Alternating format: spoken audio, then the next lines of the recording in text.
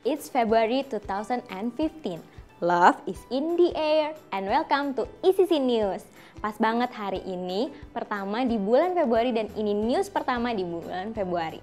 Boleh kita bilang dulu sama kanan kirinya, saya sayang deh sama kamu. I'm Shelly and I'm your host today. Let's start. Welcome to February 2015. Love is in the air. Stick around because without news, we are confused. Yang lumayan deket tapi paling ciamik nih ada kelas terakhir dari Bible School. Jemaat ICC yang sibuk-sibuk ini, terutama untuk para pesertanya silakan deh cek lagi kalendernya. Kosongin jadwalnya di hari Senin sampai Kamis, tanggal 9 sampai 12 Februari 2015. Karena akan dilayani oleh Pastor Tan Kim Hok. Bible School kelas terakhir ini langsung disambung ke wisudaannya ya. Berarti hari Jumat tanggal 13 Februari akan dilayani oleh Pastor Bobby Chow selaku Dean of Student of Bible School. Nah, dress code-nya untuk semua wisudawan adalah kemeja putih, bawahannya hitam, nggak perlu pakai blazer ya. Nah, cowoknya pakai dasi dong. Tampil kece mungkin ya, siapa tahu ketemu jodoh. Dan gak ada komsel ya di minggu itu, karena semua komsel akan digabung lagi di acara graduation.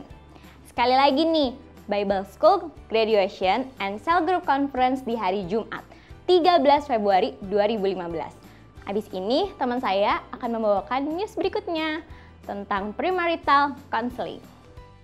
Hai Sisi, saya Ilen dan siap-siap buat Anda para bird lovers besok udah tanggal 2 Februari dan selamat besok juga jadi hari pertama pertemuan dari premarital counseling.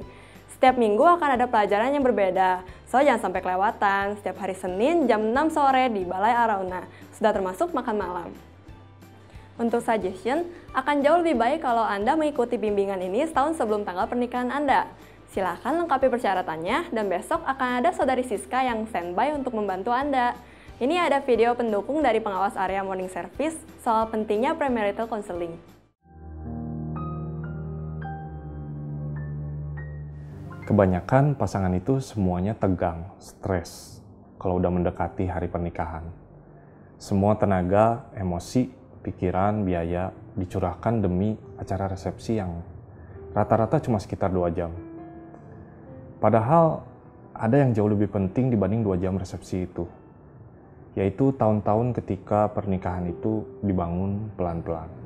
Kunci penting dari sebuah pernikahan yang teguh itu adalah fondasi yang kuat. Dan kami melihat bahwa bimbingan pernikah sebagai salah satu hal yang sangat membantu kami untuk mengimbangi persiapan acara resepsi yang berjalan selama dua jam itu dengan kehidupan pernikahan yang sebenarnya. Kami ikut bimbingan pernikah di rentang tahun 2010 sampai 2011. Waktu itu masih sistem private dengan Pastor Nala. Bimbingan pranikah mengkoreksi pemikiran-pemikiran yang salah tentang pernikahan. Contoh, alasan kenapa mau menikah, urusan mertua, bahkan ada tes pengenalan pasangan.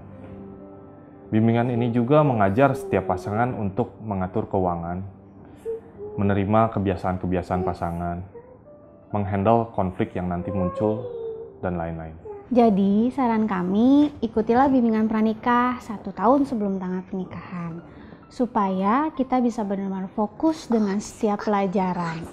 Jangan sampai terlena dengan pesta yang hanya berlangsung selama dua jam.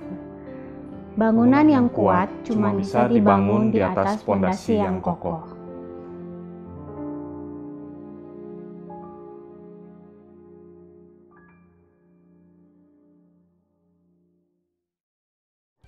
15 hari menuju tanggal terakhir pendaftaran dari ECC Cell Group Gateway Holy Land 2015.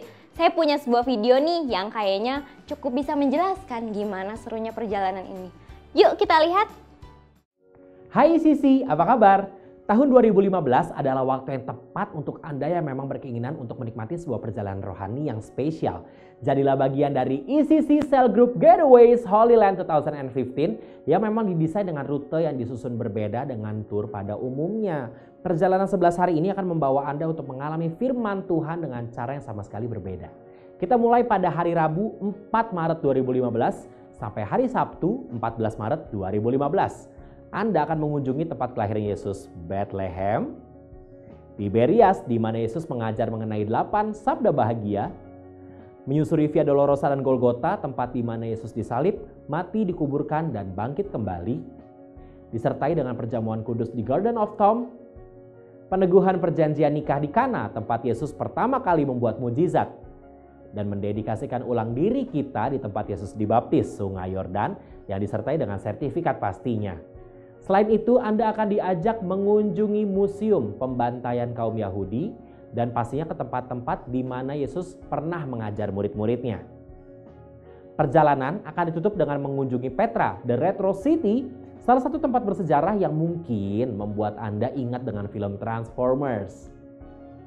ICC Cell Group Getaways Holy Land 2015 akan dipimpin oleh Gembala Senior Gereja ICC, Pendeta Nalawidia sebagai pembimbing rohani Anda. Pengalaman beliau selama lebih dari 20 tahun membuahkan Certificate of Appreciation dan gelar Ambassador of Goodwill for Israel yang diberikan oleh Benjamin Allen, the former Minister of Tourism Israel. Jadi tunggu apa lagi? Pendaftaran akan ditutup pada hari Senin 16 Februari 2015. Untuk brosur dan keterangan dan informasi lebih lanjut mengenai perjalanan ini, anda dapat mengunjungi lounge di lantai 12 Creative Tower atau menghubungi Balai Arauna di hari dan jam kerja. Saudarini Putu Yuliani siap membantu Anda. Join us in this amazing journey.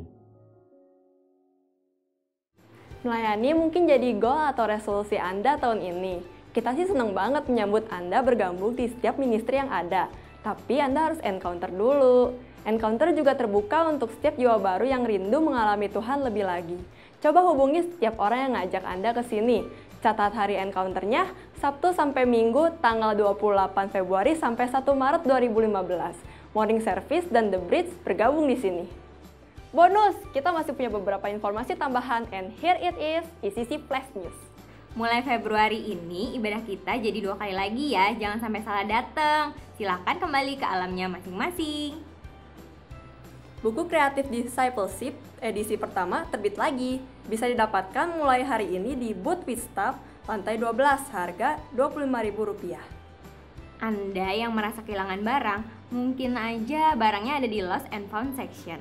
Ambil barangnya ya di Balai Arauna antara jam 9 sampai jam 3. Kita ada doa pagi pertama di tahun 2015, hari Sabtu, tanggal 7 Februari 2015. Buat pembicara kita tanggal 8 Februari 2015, kita akan dilayani oleh Pastor Victor Waang. February 2015, we wish you love. Setiap bangun tidur, senyum dulu karena Anda spesial. Grow stronger, love deeper. I'm Shelin. I'm Ilan. Signing off now. See you next week. Happy Sunday.